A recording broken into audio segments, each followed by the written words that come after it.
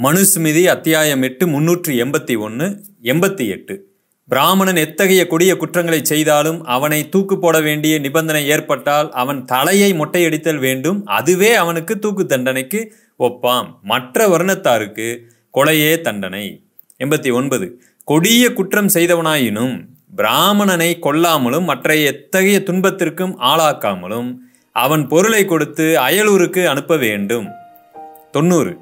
அரசனானவன் பிராமணனை எத்தகைய குற்றங்களுக்கும் கொல்ல நினைக்கக்கூடாது.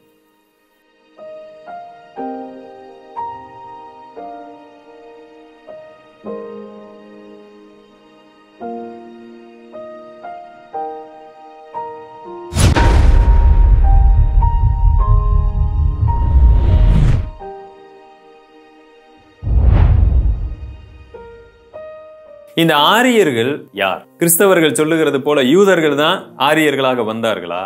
இல்ல வேற யாராவது வந்திருக்கிறாங்களா? இந்த ஆரியர்களை குறித்து நாம பைபிள்ல இருந்து யாரு அப்படின்னு பார்க்க கூடாது நமக்கு கிடைத்த தொல்பொருள் ஆராய்ச்சிகள் மூலமாக அது யாரு அப்படின்னு பார்த்தாதான் நமக்கு தெளிவான ஒரு விளக்கம் கிடைக்கும். இதை குறித்த ஒரு அற்புதமான விளக்கத்தை பேராசிரியர் கருணானந்தன் மிக அழகாய் வெளிப்படுத்துகிறார். அவர் ஒரு ஆராய்ச்சியாளர். அவர் என்ன சொல்லுகிறார்னு பார்த்தீங்கன்னா ஆரியர்கள் அப்படிங்கிறவங்க ஒரு இனம். புரியும்படி சொல்லணும்னு சொன்னா தமிழர்கள் அப்படின்னு சொன்னா அது ஒரு இனம். ஆனா அந்த தமிழ தமிழர்களுக்குள்ள பாத்தீங்கன்னா நிறைய பிரிவுகள் இருக்கு.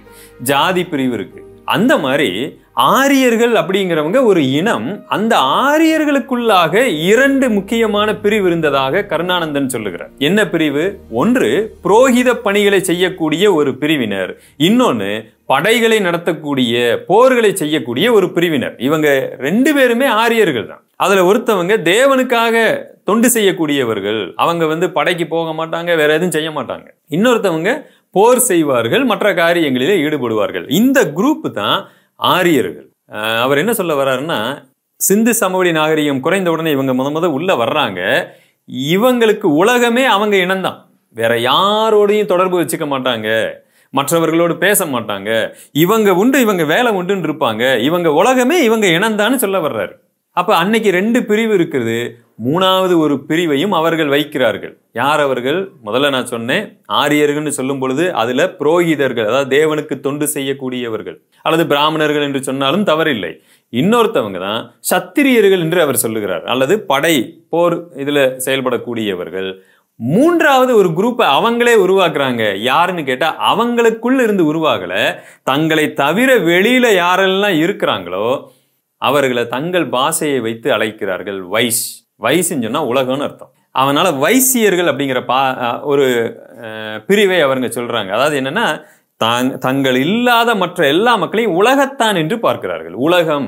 பைபிளில் சில இடங்களில் இந்த மாதிரி வார்த்தைகள் இருக்கிறதுனால நாமும் வந்து இதை ஒருவேளை அவங்க அது மாதிரியே வச்சுக்கிட்டு இருக்கிறாங்க அப்படின்னு நமக்கு நினைக்க தோன்றுகிறது. சரி பரவாயில்லை. ஏன் நம்ம வந்து இந்த ஆரியர்கள் வேதாகமத்தோடு ஒத்து போறாங்க வேதாகமத்திலேருந்து வந்தவங்க லேவியர்கள்னு சொல்கிறோன்னா வேதத்தில் இதே மாதிரி தான் இருக்கு. ஆண்டவர் வந்து அந்த யூதர்களை தேர்ந்தெடுக்கும் பொழுது எபிரேயர்கள்ல போர்களை செய்வதற்கென்று கோத்திரங்களை வகுக்கிறார்.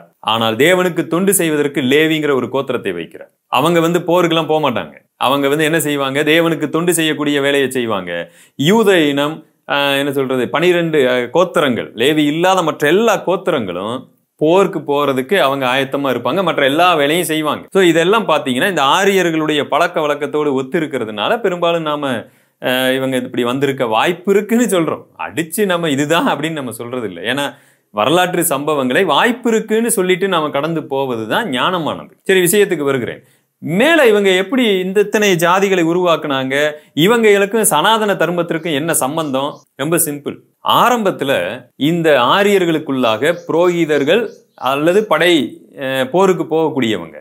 இந்த ரெண்டு பிரிவு இருக்கிறது. நாள் ஆக ஆக இந்த சுற்றிலும் இருக்கக்கூடியவங்க இவர்களை பார்த்து ஈர்க்கப்படுகிறார்கள். ஏன்? ஏன்னா இந்த ஆரியர்கள் இடத்துல இருக்கக்கூடிய அந்த புரோகிதர்கள் அவங்களுடைய கட்டுப்பாடான வாழ்க்கை அவங்களுடைய அந்த சடங்கு முறைமைகள் எந்த அளவுக்கு ஒவ்வொரு விஷயத்திலையும் சின்ன சின்ன விஷயத்துல கூட ரொம்ப சடங்குகளையும் கட்டுப்பாடுகளையும் அவங்க கடைபிடிக்கிறதின் மூலமாக இந்த சுற்றில இருக்கிற ஜனங்கள் என்னன்னா இவங்க தான் உண்மையிலே தேவனுடைய பிள்ளைகள் அப்படிங்கிற நம்பிக்கைக்குள்ள வர ஆரம்பிக்கிறாங்க. அவங்கள கையெடுத்து கும்பிட ஆரம்பிக்கிறாங்க அவங்கள தங்களுடைய வீடுகளுக்கு யாகம் நடத்துவதற்கு மற்ற காரியங்கள் நடத்துவதற்கு அவங்க தான் தேவனுடைய அடுத்த இடத்துல இருக்கிறவங்கன்னு இவங்க ஆட்டோமேட்டிக்கா நம்ப ஆரம்பிக்கிறாங்க. ஏன்னா அந்த அளவுக்கு அவர்களுடைய சடங்குகள் அவங்களுடைய வாழ்க்கை முறைமை இது எல்லாம் பார்த்தீங்கன்னா ஒரு ஒரு என்ன சொல்ற ஒரு செப்பரேட்டடா இதுவும் கூட நம்ம பைபிளில் இருக்கிற மாதிரி தான் இருக்கு. அன்றைக்கு இருந்த லேவியர்கள் பார்த்தீங்கன்னா ரொம்ப செப்பரேட்டடான ஒரு லைஃப் வாழ்ந்துகிட்டு இருப்பாங்க. ஸோ இந்த அளவுக்கு இவங்களுடைய லைஃப் இருக்கிறதுனால சுத்தியில் இருக்கிறவங்க அவங்களால் ஈர்க்கப்படுகிறாங்க. வருடங்கள் செல்ல செல்ல செல்ல பார்த்தீங்கன்னா இந்த தெய்வத்துவத்திற்கு அடுத்தபடியாக ஆசாரியர்களாக பூசாரிகளாக புரோகிதர்களாக இவங்க தான் அப்படிங்கிறத சுற்றிலும் இருக்கிற மக்கள் எல்லாம் ஒத்துக்கொள்ளுகிறார் ஸோ இதுல இருந்து தான் ஒரு பெரிய பிரச்சனையே ஆரம்பிக்குது. இப்ப அரசர்களை விட தங்களை ஆட்சி செய்கிற அரசர்களை விட தேவனுக்கு தொண்டு செய்யக்கூடிய இவங்களுக்கு தான் அதிக மதிப்பும் மரியாதையும் மக்கள் காட்டி வந்தாங்க பயந்தாங்க. இந்த சமயத்துல தான் எத்தனையோ படையெடுப்புகள் வெளியிலிருந்து வந்தது. எத்தனையோ பேர் இந்திய சொல்ல அந்த அப்போ அப்ப இந்தியா கிடையாது. இந்த மாகாணங்களை எல்லாம் ஆட்சி செய்யும் பொழுது ஜனங்கள் அப்ப கூட இந்த புரோகிதர்களை பார்த்து தான் அவங்க வாழ்ந்தாங்க. ஆகவே இந்த புரோகிதர்கள் என்ன செஞ்சாங்கன்னா அரசர்களுக்கு இந்த தங்களுடைய மக்களை எப்படி நடத்தணும்னு சொல்லி இந்த புரோகிதர்கள் அவங்களுக்கு புத்தி சொன்னாங்க. சோ இவங்க அதற்காக சில புத்தகங்களையும் எழுதினார்கள். ஆதாரம் என்ன? மனுஸ்மிருதி என்று சொல்லக்கூடிய கிட்டத்தட்ட எழுபதுக்கு மேற்பட்ட புத்தகங்கள் இருக்கு. அதுல முக்கியமா பத்து இன்றைக்கு புழக்கத்துல அதை பயன்படுத்தக்கூடியவர்களும் இருக்கிறாங்க. அவைகளிலே பெரும்பாலானவைகளில் எப்படி எழுதப்பட்டிருக்குன்னா ஒரு அரசன் எப்படி தன் குடிமக்களை நடத்தணும் என்ற தொனியிலே அது எழுதப்பட்டிருக்கும். அர்த்தம் என்னன்னா இந்த புரோகிதர்கள் அரசன்ட்ட சொல்லி ஏன்னா அரசன் வெளியிலிருந்து வந்தார்கள் அவங்களுக்கு எதுவுமே தெரியாது நாட்டு மக்களை பத்தி. அப்ப அவங்களுக்கு என்ன சொல்லி தராங்கன்னா இதுதான் எங்க சட்டத்திட்டம் அவங்க எங்களை மதிக்கணும் நாங்க என்ன சொல்றோமோ அதன்படிதான் சாமி கும்பிடணும்.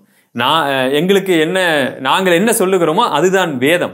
அதை அரசர்களுக்கு எழுதி கொடுக்குறாங்க உதாரணமா இந்த மனு சிறுமிதியில் இருக்கக்கூடிய எந்த ஒரு வார்த்தையை பாருங்களேன். மனு தர்மம் எட்டாம் அதிகாரம் முன்னூத்தி எண்பத்தி ஒன்னு என்ன சொல்லுகிறது? அரசனானவன் பிராமணனை எத்தகைய குற்றங்களுக்கும் கொல்ல நினைக்க கூடாது. அப்ப அரசனுக்கு என்ன செய்ய வேண்டும் என்கிற ஒரு உபதேசமும் இவர்களால் கொடுக்கப்படுகிறது. மனுஸ்மிதி அத்தியாயம் எட்டு முன்னூற்றி எண்பத்தி ஒன்னு எண்பத்தி எட்டு. பிராமணன் எத்தகைய கொடிய குற்றங்களை செய்தாலும் அவனை தூக்கு போட வேண்டிய நிபந்தனை ஏற்பட்டால் அவன் தலையை மொட்டையடித்தல் வேண்டும். அதுவே அவனுக்கு தூக்கு தண்டனைக்கு ஒப்பாம். மற்ற வர்ணத்தாருக்கு கொலையே தண்டனை. எண்பத்தி ஒன்பது. கொடிய குற்றம் செய்தவனாயினும் பிராமணனை கொல்லாமலும் மற்ற எத்தகைய துன்பத்திற்கும் ஆளாக்காமலும் அவன் பொருளை கொடுத்து அயலூருக்கு அனுப்ப வேண்டும். தொண்ணூறு. அரசனானவன் பிராமணனை எத்தகைய குற்றங்களுக்கும் கொல்ல நினைக்கக்கூடாது. தொண்ணூற்றி தொண்ணூத்தி ஒன்று. அரசன் வைசியனை வட்டி வாங்குதல் வர்த்தகம் பயிரிடுதல் பசுவை காத்தல் இவைகளையும் சூத்திரனை மற்ற மூன்று வருணத்தாருக்கு பணிவிடை செய்யவும் சொல்ல வேண்டியது. அப்படி செய்யாவிடில் உலகம் அழிந்துவிடும் ஆதலால் தண்டித்து அங்கனம் செய்விக்க வேண்டும். பிராமணன் கூலி கொடுத்தோ கொடாமலோ சூத்திரனை வேலை வாங்கலாம். ஏனென்றால் பிராமணனுக்கு தொண்டு செய்யவே சூத்திரன் பிரமனால் படைக்கப்பட்டிருக்கிறான். தொண்ணூற்றி ஏழு வைசிய சூத்திரர்களுக்கு தங்கள் தங்கள் குலத் தொழிலை செய்யுமாறு அரசன் கட்டளையிடுக. இன்றேல் உலகம் அழிந்துவிடும். நூறு. பூணூல் முதலிய பிராமண சாதிக்குரியை தரிக்கிற சூத்திரன் அங்கங்களை அரசன் வெட்டிவிட வேண்டும்.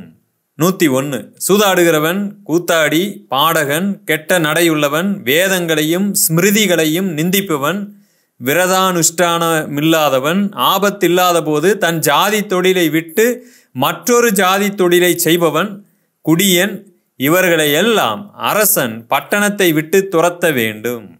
இந்த இடத்துல கொஞ்சம் நிறுத்தி நம்ம கிறிஸ்டியானிட்டிக்குள்ள பாருங்களேன். இயேசு கிறிஸ்து பிறந்ததுக்கு அப்புறம் முன்னூறாவது வருஷத்துக்கு அப்புறம் கேத்தலிக் அப்படிங்கிற ஒரு சபை உருவாக ஆரம்பிக்குது. அநேகர் வர்றாங்க. அப்போ இருந்த அந்த மத போதகராய் அறியப்பட்ட போப் என்று சொல்லக்கூடியவர் அரசர்களை கட்டுப்படுத்தி தானே ஆட்சி செய்யக்கூடியவராக இருந்தார். இயற்கையாகவே இந்த மத அடிப்படையில் வருகிற தலைவர்கள் அரசர்களாக தங்களை காண்பிக்காம அரசர்களை கட்டுப்படுத்தக்கூடியவர்களாக இருக்கிறாங்க. இது தவறு. பிப்ளிக்கலாக அது தவறு. பைபிள் பிரகாரம் இது தவறு. நம்ம அதை செய்யவே கூடாது. ம்? சிலர் அப்படி செய்து அரசாங்கத்தையே கட்டுப்பாட்டிலே வச்சிருந்தாங்க. அதே மாதிரி ஒன்றைத்தான் ஆரியர்கள்ல இருந்த என்ன சொல்ற இந்த புரோகிதம் செய்யக்கூடியவர்கள் யாரெல்லாம் படையெடுத்து வந்தாங்களோ அந்த அரசர்கள் எப்படி நடக்கணுங்கிற வித விஷயத்தை முதற்கொண்டு சொன்னாங்க.